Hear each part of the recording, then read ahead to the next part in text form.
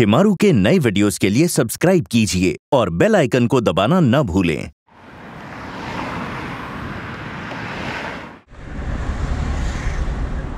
देखी कितना अच्छा लड़का ढूंढा है तुम्हारे लिए। हमारी खुशी तो आपकी खुशी में है भाईजान। ये तो आप जानते ही है ना? हमें मालूम है हमारी बहन की खुशी किसमें है। बस एक बात का दुख है हमें। दुख? वो क्या? कल जब तुम अपने ससुराल चली जाओगी तो घर कितना खाली खाली लगेगा। बहुत याद आएगी हमें तुम्हारी। क्या भाईजान? आप तो ऐसे बात कर रहे हैं जैसे शादी के बाद ना हम आपसे कभी मिलने ही नहीं वाले।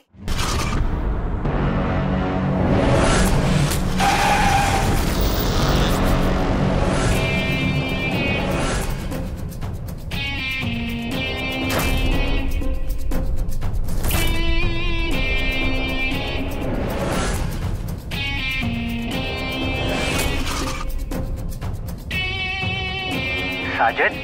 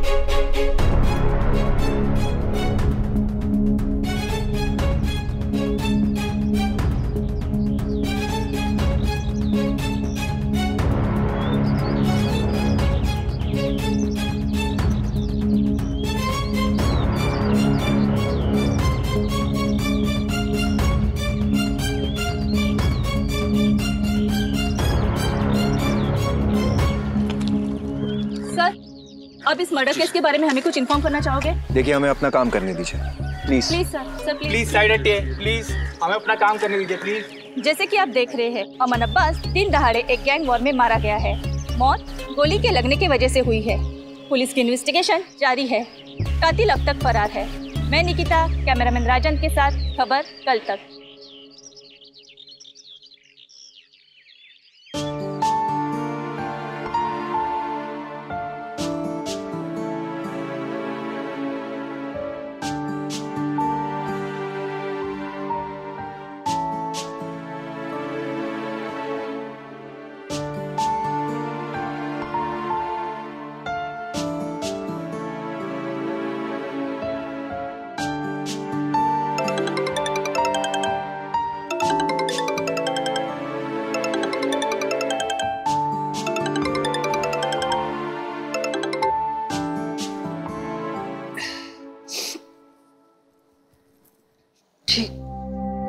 अस्सलाम वालेकुम वालेकुम सलाम।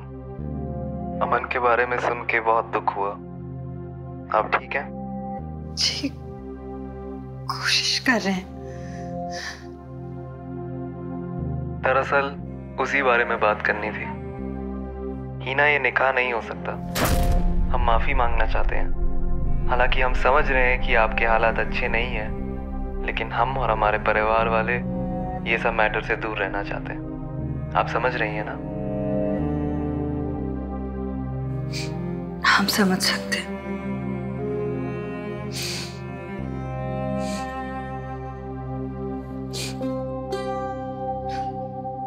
हमने कहा था आपसे, भाईजान, ये गलत काम छोड़ दीजिए। लेकिन आपने हमारी एक नहीं मानी। काश हम आपको उसी वक्त रोक लेते। लेकिन जिसने भी आपको मारा है ना भाईजान उसे हम छोड़ेंगे नहीं। ढूंढ निकालेंगे उसे। छोड़ेंगे नहीं।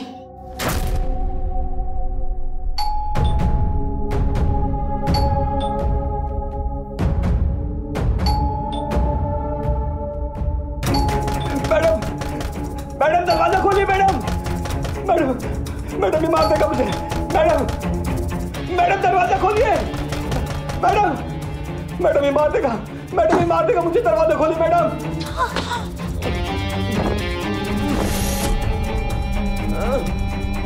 हमें सिर्फ़ पाँच मिनट चाहिए आपसे बात करने की सिर्फ़ पाँच मिनट।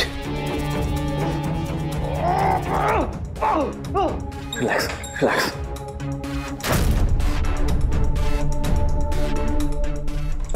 ये ये ये क्या कर रहा है? शांत। हम सिर्फ़ ओके। है ना हमें आपसे सिर्फ़ कुछ बात करनी है।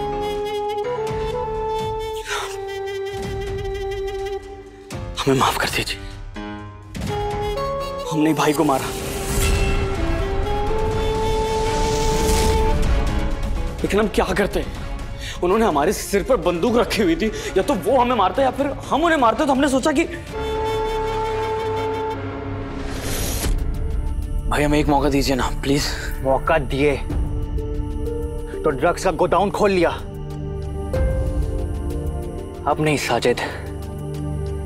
अब मौका नहीं वार्निंग दे रहे दोबारा यहाँ दिख मत जाना। समझे? और तुम इन ड्रग्स को जब्त करो और इस गोडाउन को आग लगाओ। दोबारा या दिख मत जाना।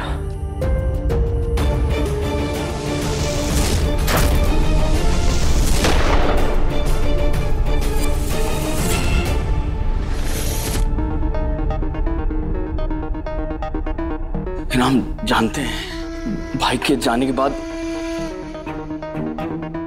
तुम बहुत अकेली हो गई होगी ना? हम सिर्फ़ इतना कहने आए हैं कि तुम्हें किसी भी चीज़ की ज़रूरत लगे तो हम हैं। कभी अकेला मत समझना खुद को।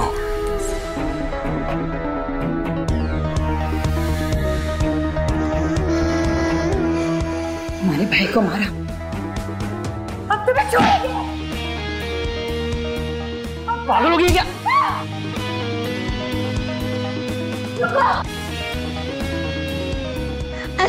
पकड़ो उसे। पकड़ो उसे। रुक जाइए मैम रुक जाइए। आप ठीक तो है ना? मैम हमें पुलिस को इन्फॉर्म करना चाहिए।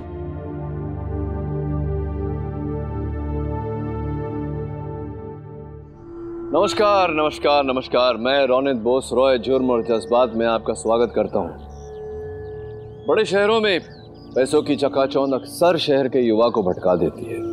और वो जल्द से जल्द अमीर होने के चक्कर में जुर्म का खतरनाक रास्ता अपना लेते हैं साजिद और अमन के साथ भी ऐसा ही हुआ। दोनों ने जुर्म के ज़रिए खूब पैसे कमाए। वैसे तो साजिद और अमन पक्के दोस्त लेकिन कहते हैं ना, लालच और पैसा भाई भाई को भी लड़वा देते हैं। चौबीस साल की जवान उम्र में अमन को अपनी जान गंवानी पड़ी। अमन अपनी बहन हिना से बेहद प्यार करता था, पर आज हिना अकेली खड़ी रो रही है। और उसके भाई का कातिल फरार है। हिना का अब एक ही मकसद है। साजिद को उसके किए की सजा दिलवाना। आगे क्या हुआ? आइए देखते हैं। ठीक है रिपोर्ट दर्ज करवा देते हैं। फिर कहीं साजिद दिखे तो सीधा मुझे कॉल करिए। मैडम ये सब इंफॉर्मेशन आपको कल रात को देनी चाहिए। गैंग वॉर का मामला है अब तक तो साजिद फरार हो गया रहेगा अब गुंडे मवालियों से दोस्ती करोगी तो और क्या नतीजा होगा एनीवे anyway, राजन इनकी फाइल्स लेके मेरे कैबिन में आओ जी सर आप लोग निश्चिंत रहिए डोंट वरी साजिद जल्दी जेल में होगा अब आप आराम से घर जाइए ओके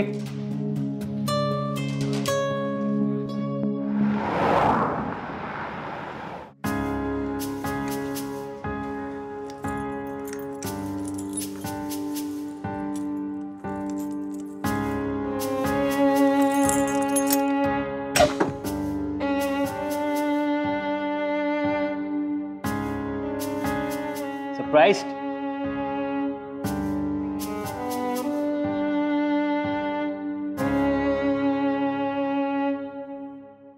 ये सारे गिफ्ट तुम्हारे लिए। अमन भाई।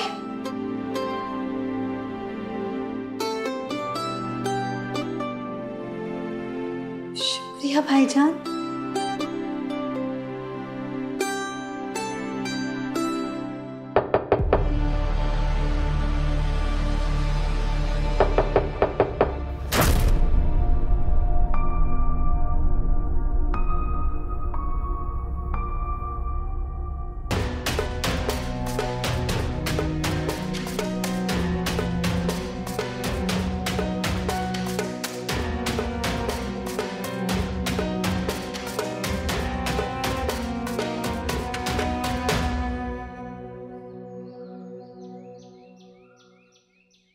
जी, मैं अभिषेक।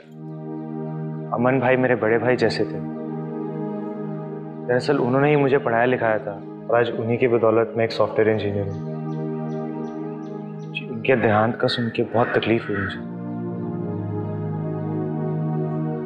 जी, माफ़ कीजिएगा, मैं तो बस यूँ ही चला है मैं बाद में आता हूँ। नहीं, आइए। आइए।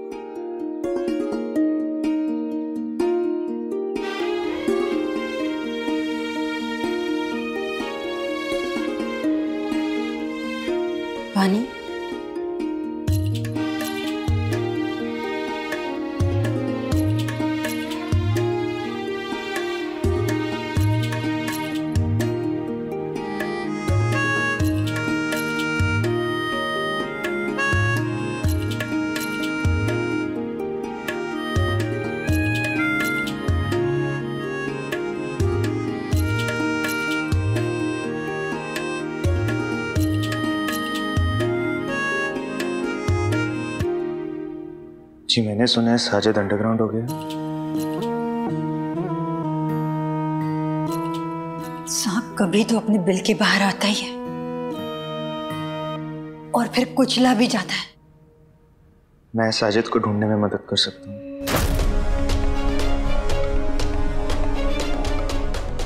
कैसे? हैकिंग वो साइड इनकम के लिए। हाँ। मुझे जैसे ही कुछ इन्फॉर्मेशन मिलती है, मैं आपको कॉल करता हूँ। आप तब तक मेरा कार्ड ले लीजिए।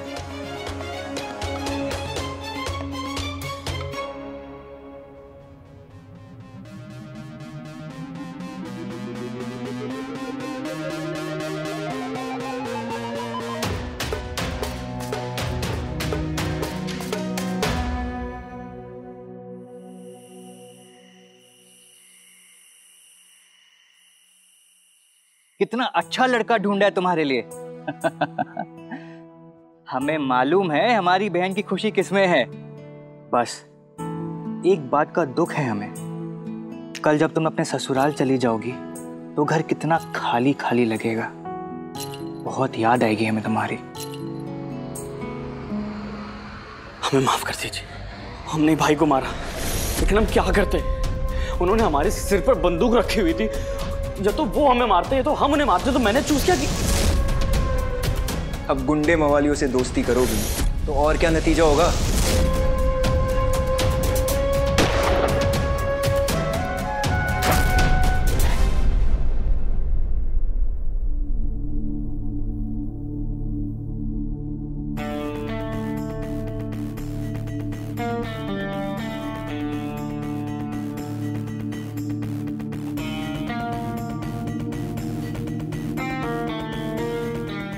पुलिस पे ट्रस्ट नहीं कर सकते।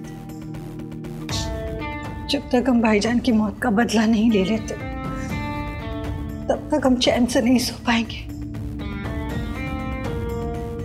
आप हमारा एक काम करेंगे।